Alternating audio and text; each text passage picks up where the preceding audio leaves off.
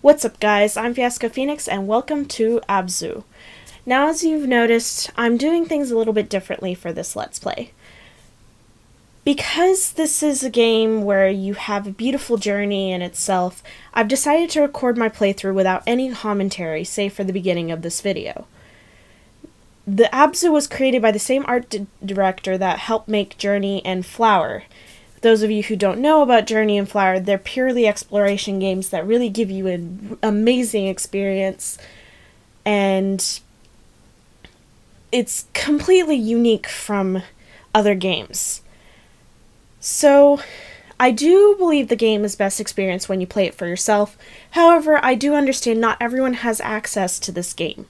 Not everyone has the capability to play it themselves. So, I decided that I would create these playthroughs um, in order to let you guys be able to experience it in some way.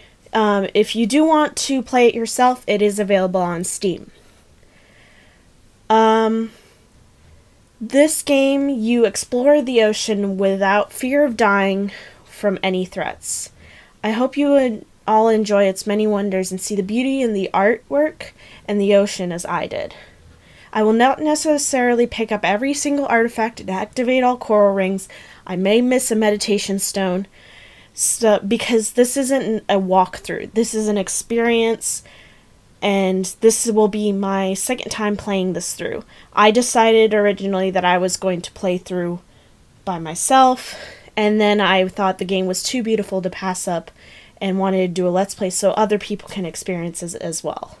So I really hope you enjoy it.